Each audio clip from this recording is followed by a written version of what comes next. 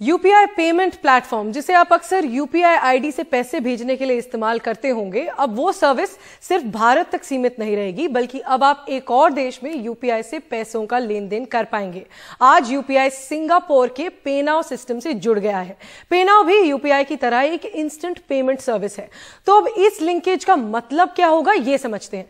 जैसे आप भारत में किसी के भी मोबाइल नंबर से उन्हें यूपीआई के ज़रिए पैसे भेज सकते हैं और उनसे पैसे ले भी सकते हैं। उसी उसी तरह से आप सिंगापुर से भी पैसे ले और दे सकते हैं। बिना यूपीआई के अगर आपको किसी और देश में पैसे भेजने हो तो उसमें समय लगता है बैंक्स अपनी फ़ीस भी चार्ज करते हैं, पर अब आप एक मिनट में ही पैसे भेज सकते हैं अपने बैंक्स की ऐप के ज़रिए।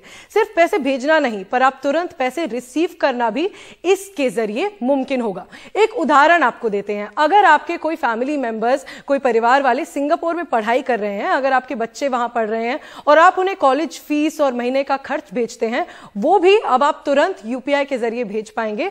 सिर्फ़ उनका यूपीआई वाला मोबाइल नंबर डालकर।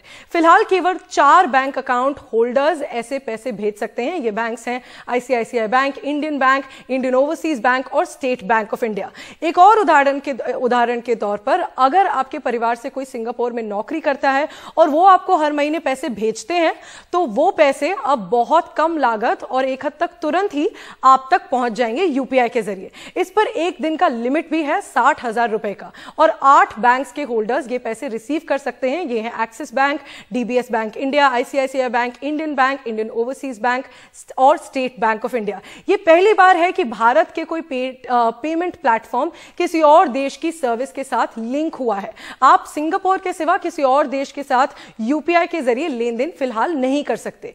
यूपीआई वैसे भी भारत का सबसे बड़ा प्लेटफॉर्म है सबसे बड़ा पेमेंट प्लेटफॉर्म है और अब ये अंतरराष्ट्रीय हो गया है। अब हमने कहा कि ये पैसों का लेन देन आसान होगा। ये दर्शाने के लिए आइए एक डेमो देखते हैं। उदाहरण के लिए आप दस हज़ार रुपए भारत से सिंगापुर कैसे भेज सकते हैं, ये देखते हैं।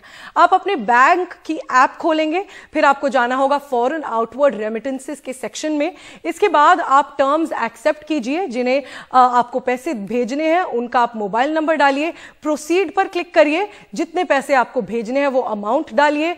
रुपए और सिंगापुर डॉलर के एक्सचेंज रेट को कंफर्म करिए और डन दबाइए और आपके पैसे इन चंद क्लिक्स में भारत से अब सिंगापुर पहुँच जाएँगे।